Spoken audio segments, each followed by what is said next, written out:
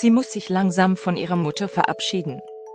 Im Sommer 2017 wurde bekannt gegeben, dass bei Katie Price, Mutter Emi eine idiopathische Lungenfibrose diagnostiziert wurde eine unheilbare Krankheit, bei der das Atemorgan nach und nach vernarbt.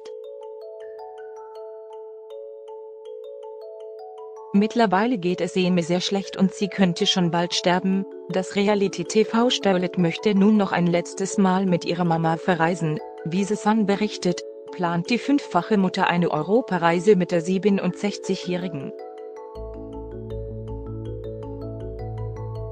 In Spanien wollen die beiden Damen Kates Stiefvater Paul besuchen. Eine Quelle verriet der englischen Zeitung, dass es der 40-Jährigen schmerzhaft bewusst sei, dass es der letzte Urlaub mit ihrer Mutter sein könnte.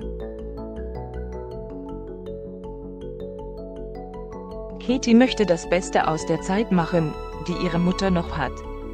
Es ist eine Art Bucketlist-Trip, so der Insider. Die Reise soll für Katies TV-Show Mygrese live mit Kamera begleitet werden. Dadurch erhoffe sich das TV-Sternchen wertvolle Erinnerungen ihrer geliebten Männer festhalten zu können, gab die Quelle weiter bekannt.